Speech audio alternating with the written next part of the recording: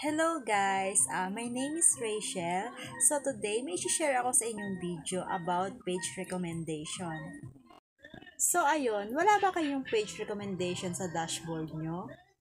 Ang page recommendation nga pala guys, dito nyo makikita kung may mga violation kayo sa page nyo at kung may pag-asa ba ma-monetize yung page nyo. So ayun guys, uh, kung gusto nyo malaman, tapusin nyo lang tong video ko. So, ayun, ang first step natin is, guys, is syempre pumunta tayo sa ating Facebook at i-click lang natin tong profile natin sa taas. Pagkatapos, scroll down lang natin hanggat makita natin yung settings and then i-click lang natin yung settings, guys.